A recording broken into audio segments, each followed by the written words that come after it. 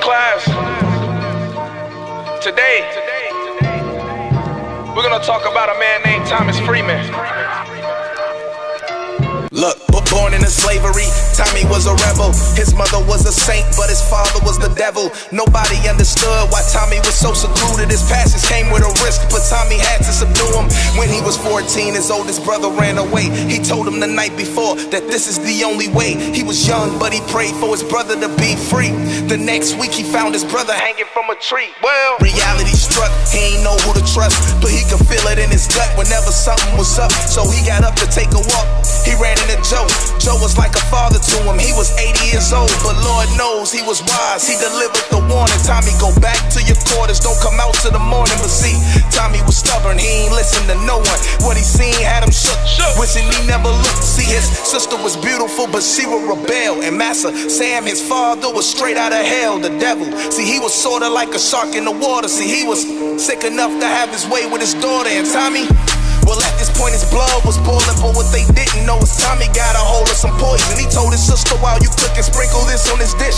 She said, Tommy, I'ma make the whole family sick. And she did. She dumped the bottle in a pot of spaghetti, his favorite. He cleaned the plate, his heart stopped, and he died at the table. She left the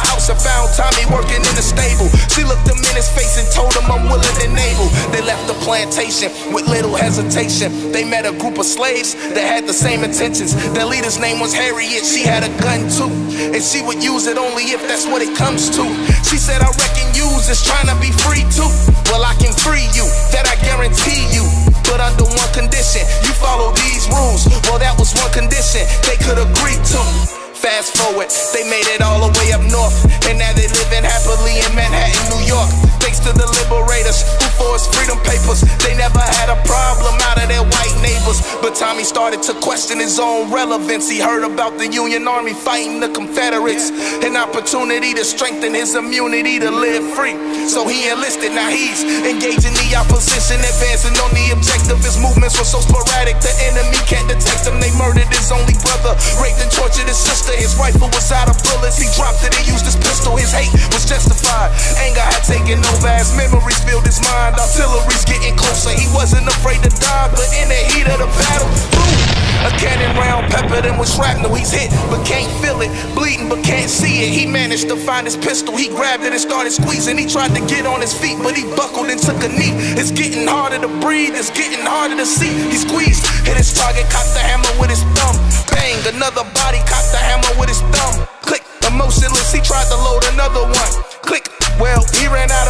The battlefield was riddled with dunnage and dead people. Smoke covered the sun, but it couldn't conceal the evil. Slowly losing his life, but his team was still in pursuit of the truth. Meaning behind the red, white, and the blue. Adrenaline still pumping, he still wanted to fight, but the battle for him was over. He started to see the light at the end of the tunnel. But at that very moment, he could hear his brother's voice. He told him to be stronger. His eyes were wide open. He didn't have much longer. Inhaling the sweet smell bittersweet. He took a chance and tried to get back on his feet, but he stumbled. In the pain that he once had doubled, he struggled, but he refused to play dead in the rubble. The dusk was now dawn. The rain turned into drizzle. It was peaceful until he heard that cannon round whistle. Yeah.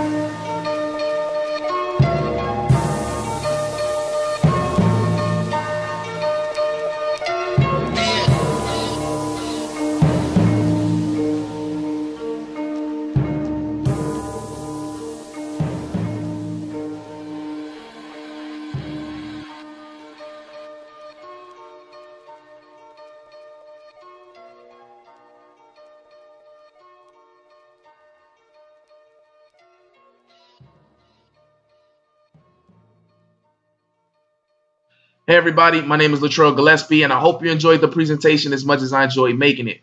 The objective of the presentation was to give you all an understanding of the psychology of a former slave who escapes to freedom and still chooses to fight in the Union Army despite being a free man.